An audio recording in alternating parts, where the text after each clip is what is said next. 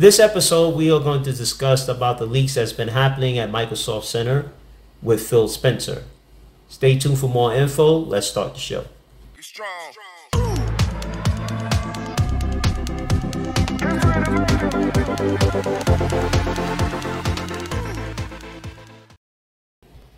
Hello, folks, and welcome to the show. I have my friend Christian here, Howdy, howdy. and we are here to discuss about the leaks that's been happening at Microsoft. Now, looking at The Verge, where we got these information leaked from, and I'll put the, the link down below so you guys can check out the article. Um, we having Xbox is actually having a new gen console that's coming out in 2028. Its, its, its code name is Brooklyn. Xbox Series X refresh. And this one is going to be the most powerful Xbox ever. Now, arguably all digital. Mm-hmm. I thought Xbox Series X was the The powerful X. Yes, the Series X was the uh, next Xbox powerful console. So now we got another one called Brooklyn that's coming out. That's going to be more powerful than the Series X, And it's not going to run discs. and it's discless. So it's going to be digital, just like PlayStation doing for Slim and Pro. Nice. So, folks, this one is going to be called Brooklyn. Brooklyn will deliver 4K Gen 9 console gaming with more internal storage, faster Wi Fi, reduced power, and more immersive controller and beautiful redesign that elevates the all digital experience of Xbox ecosystem. Giving our fans more to love, the beautiful innovation, new design, more internal storage for gaming, which is going to be two terabytes, which is that's pretty cool. A USB-C front port with powerful delivery, all new, more immersive controllers, same great price for 499.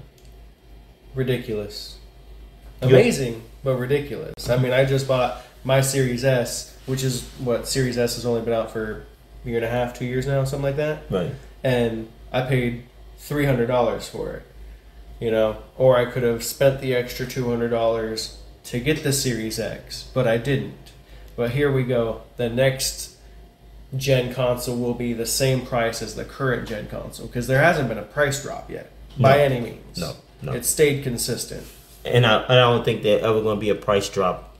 But yeah, it is kind of funny that you're going to take the next gen console, Brooklyn, that's supposed to be more powerful than Xbox Series X, and charge it for the same price as you did for an S. That's incredible. That's really interesting. So it's update technology on this Brooklyn is all new South Bridge to modernize I/O and stability efforts, which is going to have a Wi-Fi 6E radio for better throughput, latency, and interference migration, and then a B2 5 5.2 radio for improved accessory experience, which means you're, you you'll have better links with your controllers or headsets or whatever you have which I think the controllers and headsets on the Series X is perfect the way it is because it's linked. Uh, granted, it's not it's not uh, Wi-Fi Bluetooth. Uh, it was Bluetooth with the controllers, but it's not Wi-Fi based like like some consoles have. Uh, uh, like uh, PlayStation doesn't have Bluetooth connectivity, but it has Wi-Fi link to where well no it does have bluetooth because you bluetooth through the through, through the the controllers but um, you can't access other outside companies like if you have a third party company um, headset that is bluetooth the playstation 5 won't accept it because they don't accept it's not equal friendly for the playstation ecosystem so it won't accept third party uh, vendors for outside headsets or other controllers. But uh, it'd be interesting to see if that is the same with the Brooklyn, as they would call it. The improved uh, um, system is to reduce the PSU power by 15%. So it's lowering its power consumption. by fifteen percent. That's pretty crazy. Let's go green. Yes, yeah. Let's save the earth. Uh, new low power standard mode is 20% of current XSS standby mode. So when it's in standby mode, it's going to reduce more than 20% of power. So it's not going to take that much when you put it on standby mode. And I don't think this one, Series X, you can put it on standby mode, can you? Yeah, you can. You, you can do that with the Series X and the Series S. It's just I don't know. With my Series S, it seems to have issues when I leave it on standby mode. It'll just disconnect from the internet, and then when I go to get back on, it'll be like, You're not connected to the internet. And I have to shut it down completely and turn it back on. I don't know if that's an issue you'll have with the X, but that's an issue I'm dealing with the S. Wow. So, increased use of PCR on housing to 30%, 100% recyclable packaging. Well, well we don't care about that one. Once again, they're just throwing go green. Yeah, just want to go green for the planet. But the next thing that is very interesting that also came in a leak is a controller called Sable, the new Xbox controller. And this is supposed to be the world's best controller now playing on screen near you. And it's going to be played anywhere Xbox Wireless 2 Direct to Cloud, and Bluetooth 5.2. It's going to have seamless pair and switch, new uh, mobile app features, see pair devices and cloud. Managing is going to manage devices and accessories. Immersion is to feel the game. Precision haptic feedback. VCR, uh, VCA, excuse me, haptic double as as speakers and the uh, quickness button is in thumb back thumbsticks. Now, okay, now if you don't understand about what they talking about as the VCA haptic double as speakers, if you look at the bottom of your Xbox Series X or X or whichever Xbox you have, you notice that the grippers are right here at the bottom of your hand, right?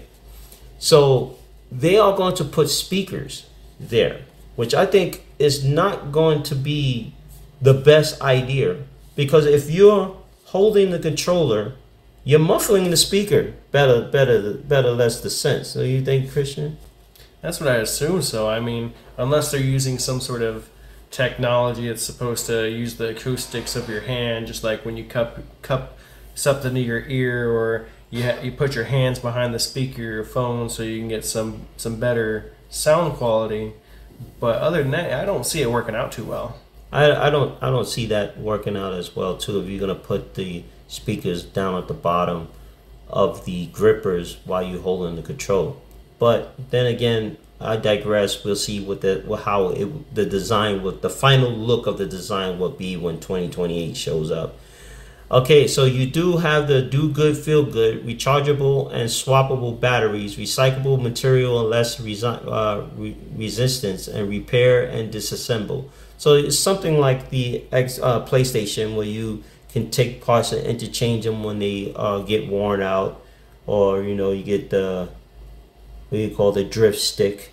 Oh God! Yeah, I hate that stupid drift stick. It's just ridiculous. And tell you what, when you're running straight for hours on end in whatever game you're playing, and for some reason you set your controller down and your character is still walking straight forwards, or are you just trying to stay still and stay hidden, and your guy just starts walking forwards for no reason?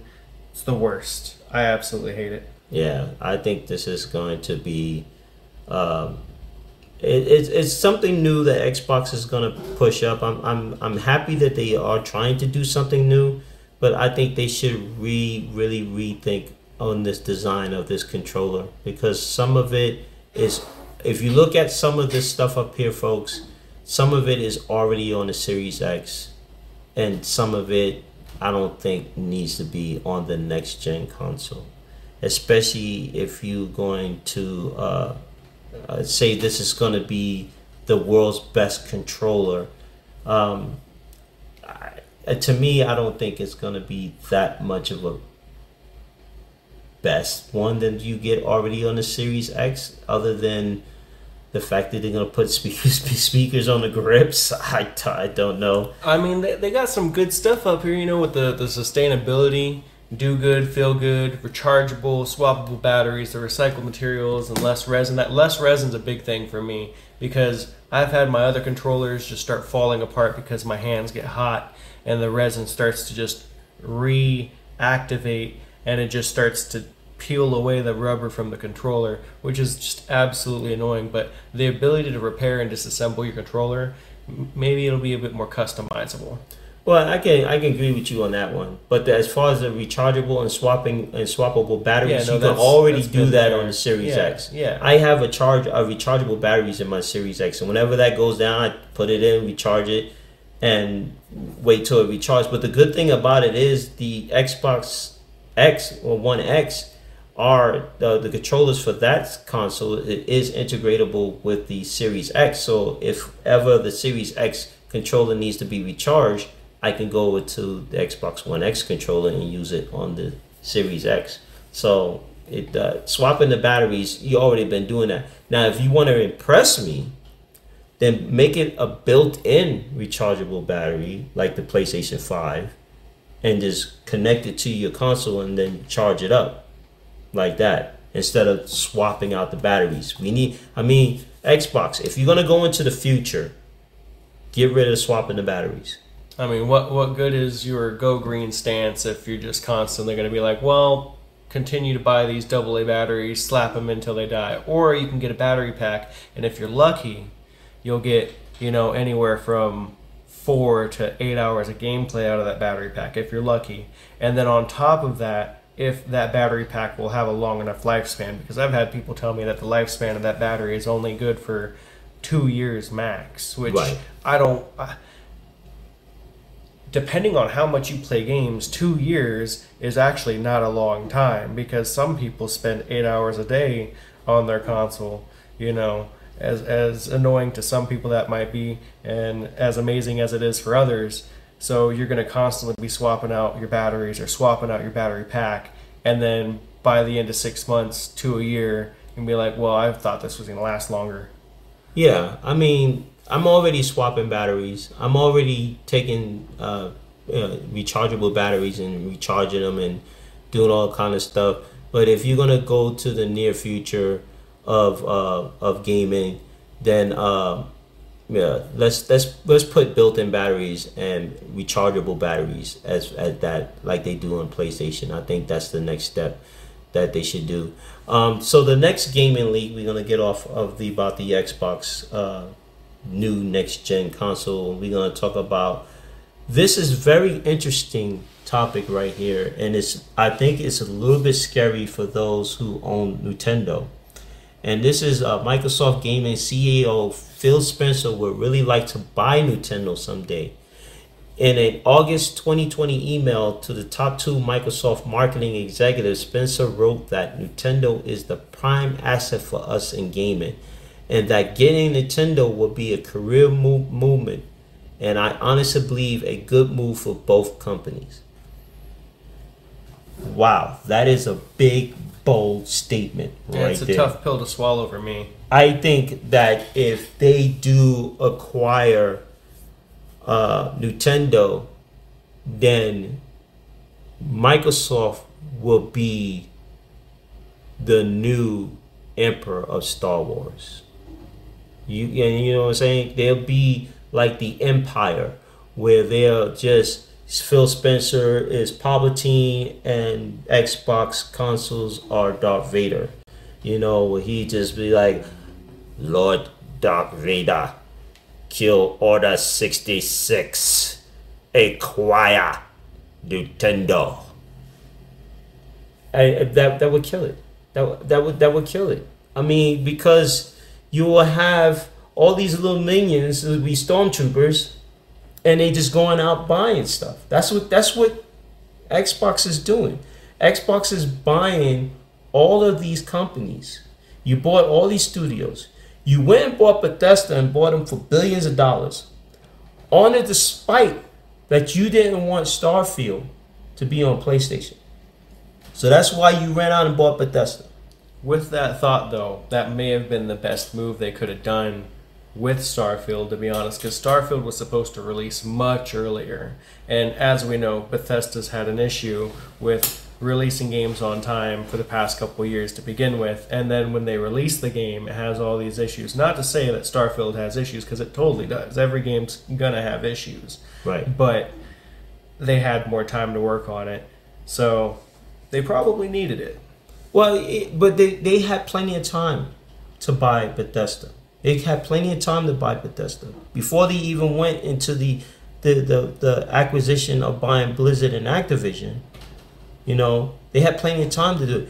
I believe in my cold heart that they did this so they did not have to have Starfield on PlayStation. They wanted to make this exclusive only for Xbox. And I can understand because PlayStation plays this this out of their playbook too, where they don't buy companies but they buy IPs, and they buy companies to buy games to make it solely exclusive for PlayStation, like you got you know Spider Man Two, you know. So, but but the thing about it is, PlayStation buy IPs, Xbox is buying studios, and now you want to acquire Nintendo. You want to buy Nintendo, and Nintendo is not. It's not like Nintendo is harder for money. They sitting on a pile of cash Nintendo's making a lot of money with Mario games and they're making a lot of money with Zelda. So they don't need to be bought. But it seems like Phil has his heart set on buying Nintendo. No, it definitely sounds like it's a goal to me. And I can't imagine what he would even be able to offer Nintendo to begin with, by any means. Like I was running numbers in my head and just thinking about like, well, if, if they did this, if they did that, like I don't think there's anything they could do to get that to happen. But if but if they do happen to acquire Nintendo, this would be the first ever in history of Xbox they're going going into the field of handheld console. Because if you look at it, that Xbox have never created a handheld game like PlayStation has with PSP and PS Vita and now PS Portal. Now you got Xbox. If they acquire Nintendo, this would be the first ever handheld game console ever. And that's a new realm, a new era for a new world for them to acquire if they acquire Nintendo. And that would be something new that I think Phil Spencer and the Xbox team will play with because that's something they never thought to indulge in if they do get Nintendo. And to them, this is be a new playground, a new era for them to understand what a handheld game is all about in the hands of consumers to walk around and play. And they may may improve if they do take Nintendo. They may be able to improve Nintendo in a, in, in the aspects to link it to the Xbox to where you not only can play Nintendo games and all that stuff, but you can play Xbox games and you can link it and not be tethered to the Xbox like you do the PlayStation Portal. Mm-hmm. Okay, have to link it to the PlayStation 5 because it's not a dedicated handheld. Okay, I don't care what anybody says on YouTube about how great this portal thing is. It's not a dedicated handheld. If PlayStation wants to go, they need to go back to the drawing board and do like they did with the PSP and the PS PS Vita. Mm-hmm. Okay, Absolutely. not link it to where you have to be tethered to a PlayStation. So if Xbox does this, and they get it, and they get into that handheld business, I hope that they will make a Nintendo that is dedicated service like it is as a on standalone console, a standalone handheld, but also could be able to play Xbox games at the same time. Will have update graphics, new hardware, better software, to where it can play some of these gen. Because have you looked at Mortal Kombat One on PlayStation? I mean, I mean on Nintendo Switch, it looks terrible. Like they showed a clip where uh, Johnny Cage takes his glasses off and his eyeball's about to pop out of his socket. he looked like one of those 19 what was that 1970 or 1980 cartoons. Oh, you know, like when you know when uh, Tom uh, Tom and Jerry cartoons when Jerry slammed his window on on Tom's neck and his eyeballs pop out. That is the graphics on that thing look terrible on the Nintendo Switch, and they have the goal of the nerve to charge 70 bucks for something like that. So if Xbox acquires Nintendo, that is what is going to need. It's going to need that improvement. It's going to need to where it is sellable, it is workable, and it is playable. So that way, if you want to charge somebody seventy dollars, they have nothing to complain about because it's a good game and it looks good on a handheld game. Right.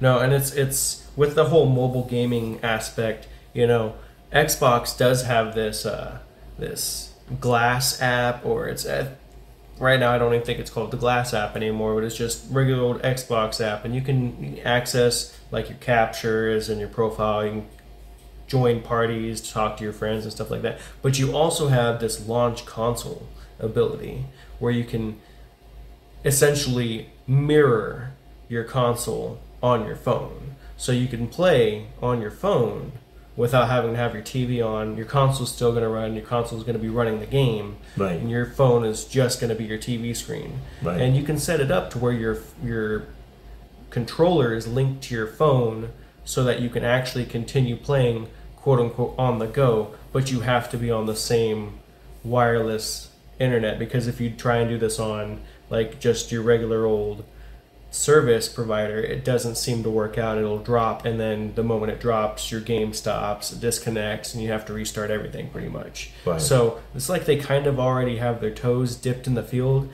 and they just stopped trying to improve on it because they realized it already had issues. Right. And there's no point in trying to turn on your phone to play the game unless you're strictly trying to play mobile games. Right. So, as you said, they're trying to get into that field of mobile gaming because they already tried a little bit, but they just said, eh, it's not really working.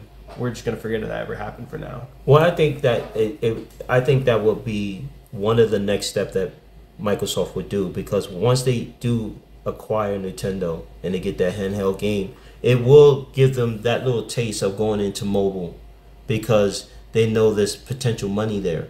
There's there's a lot of marketing in mobile gaming, and they know that phones sell. Like Samsung, mm-hmm. iPhones, they sell. They got their own phones. Yeah, You know? and so they looking to probably they probably will be looking to buy or acquire those IPs for those mobile phone games. But you know, but who's not to say that that won't happen? Because it looks like I said, Xbox, Microsoft is buying everyone out. And, and this is what I can tell you, folks. It's not going to stop here because we're not done with what they are acquiring to buy. The emails also reveal, as part of the of the trench leak of documents from the FTC versus Microsoft lawsuit, one executive Takashi asked Spencer and Chris in an email titled "Random Thoughts About Microsoft." Isn't finding acquisition targets like Nintendo a more attractive way to increase a consumer exposure and relevance? At the time, Microsoft was in discussion to acquire TikTok. TikTok of all apps. TikTok. I don't even know how they would do that. What in the world would you need with TikTok? Just money, I guess. You know, have constant videos, constant views. The only thing you'd get from it. And I don't see any other purpose that Microsoft would have for TikTok. I, I, I, I was seeing it's not even a gaming. Exactly. It's it's just an a media app that everyone just talk trash on or do do weird stuff on. But it's it's it's interesting that Phil Spencer was even acquiring the one TikTok. What's next? He's gonna buy X, aka Twitter, uh, Facebook. I mean, what else is he gonna? Is he's gonna buy YouTube? If that's the case, if you're gonna buy TikTok, you might as well go ahead and buy everyone else. So see, this is why I say, folks, Microsoft are the new empire. Phil Spencer is Palpatine, and he's ordering 66. He is buying everybody. Microsoft has deep pockets. They are buying everybody. They leaving no stone unturned.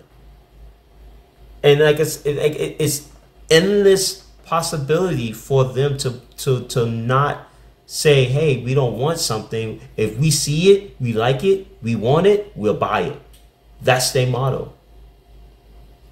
And it's it, it, you know I would think because they bought all these studios because they have a rival was PlayStation. They want to make PlayStation corner. You know, they're trying to cower them into the corner to where they have no one else to buy games or, or get games from. But it seems like they're going beyond that. It seems like Phil Spencer just doesn't want to stop with gaming. That he wants to go into the world of media and media apps where he wants to buy TikTok. Like, what purpose would TikTok? I mean, were you going to add TikTok to the Xbox now? I mean, people can basically download that on their Xbox, can they? I'm not sure about TikTok, but I know that there's multiple other apps that you can have on your Xbox that are specifically for you, like Discord, and uh, I, I can't even think of another one right now. But to where you can link all your gameplay so that everything that you do, there's video for it. There you can have your chat going. You can get views. You can get some monetization going, but TikTok's a short video app. Like, you know, you're only at the most a couple minutes. What are you gonna do with that? Most people they're streaming. They're streaming their games. They're not trying to be like, here's 30 seconds. That's what's on YouTube. That's what you got YouTube for. You know, you got YouTube Shorts. You know, here's a little tutorial. And this is what the new thing that came out with the game today. You know, there's no real point. I don't. I don't see any point to have TikTok for Xbox.